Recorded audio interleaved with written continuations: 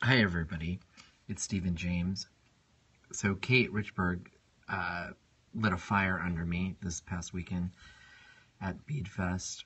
Uh, she introduced me to Periscope, and I'd been playing around with it, but clearly now I know how to do it. Hey, we're looking at mint green enamel, and I haven't fired it yet, but the number one question I get in all of my enameling classes is actually, what does it look like?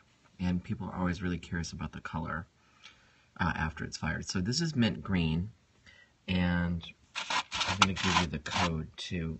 It's um, 1420. It's an opaque, and my new book, Discover Torch Enameling, comes out uh, at the end of May, middle of June, and so I'm hoping to actually shoot one of these every day so people can become really familiar with what the colors look like. I love mint green, so I kind of want to give you a, a peek at, at what it's going to look like.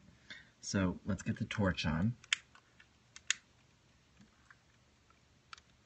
Well, that's always the easier said than done. I'm putting it down. Hold on for a second.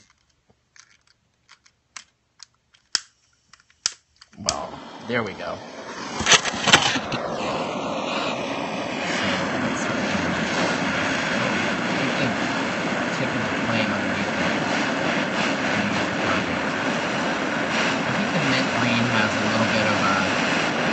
pastel this color. And surprise, surprise, I'm using a pre-1982 penny for this color.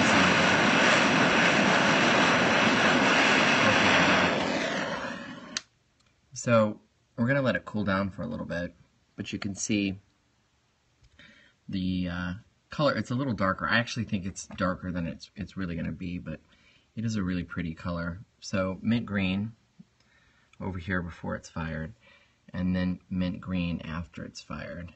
Uh, so uh, stay tuned for more what does it look like periscopes, and you'll get a, an opportunity to see a lot of different enameling colors uh, that you can use in projects in Discover Torch Enameling. Again, the, the code is Oh, where did it go? You'd think I'd have all 500 of them memorized, but it's 1420. And let's take one last peek at it. And in fact, let's see if we can get a little bit better light on it. There you go. So, lovely. Bye. Oh, before I leave, if there are colors that you actually would love to see, you know, you can message me or tweet me or go to the Discover Torch Enameling Facebook page and let me know what color you'd like to see fired on Periscope.